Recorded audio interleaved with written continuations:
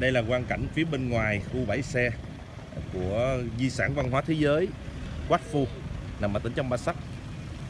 À, có một nét tương đồng vì đây là một quần thể đền đài được xây dựng trước khi à, xây dựng khu vực của đền Angkor tại đất nước Campuchia. Đây là hồ phong thủy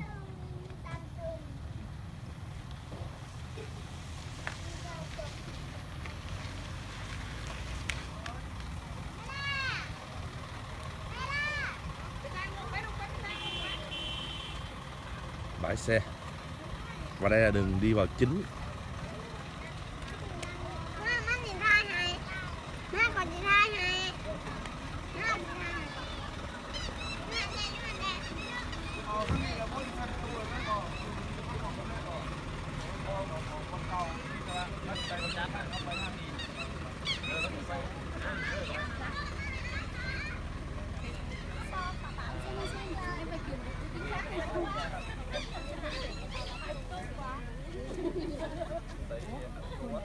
Má, má nhìn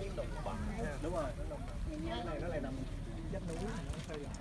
Má còn nhìn thai. Má, đây, đây, đây.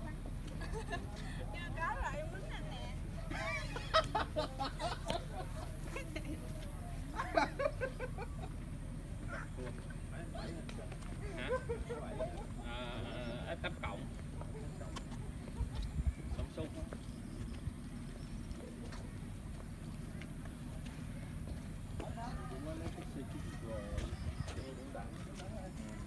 không này chụp hình đẹp quá